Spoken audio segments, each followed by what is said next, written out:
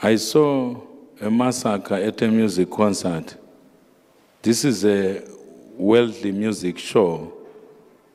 So many uh, young lives. Taylor Swift concerts in Vienna have been cancelled. Welcome back to Everything Zim. Breaking news Taylor Swift's concert cancelled amid terrorist attack. Fears a scheduled Taylor Swift concert has been cancelled due to credible threats of a terrorist attack, posing a significant risk to human life. Notably, the man of God, Dr. Ian Ndlovu, urged people to pray for the safety of an American female celebrity.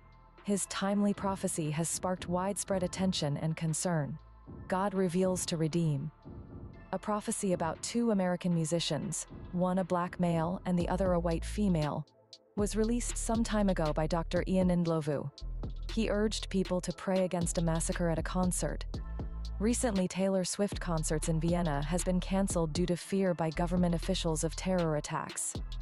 Let's watch the prophecy. This is a worldly music show. So many uh, young lives, so many young people losing their lives at their prime. In fact, we must pray for the salvation of these people who seek solace and pleasure from worldly music.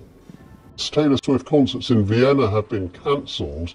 Um, this is because of a, uh, news from government officials in Vienna who were worried about a planned terrorist attack on the stadium. Um, in fact, it's two of them. One is a male, a black one, the other one is white. We must pray. There are, there are powers uh, which operate in this world which may create that situation. It happened in the past where people died uh, at a music concert of this person. Both of these persons, they are alive. There are people who died in their concerts.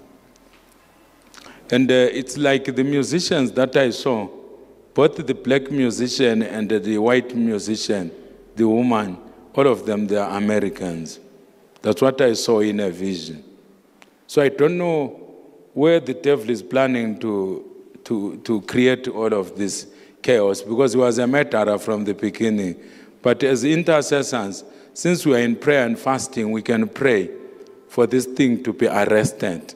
That was the prophecy, and it has come to pass. CNN announced the cancellation of the concert. Let's continue to pray and repent.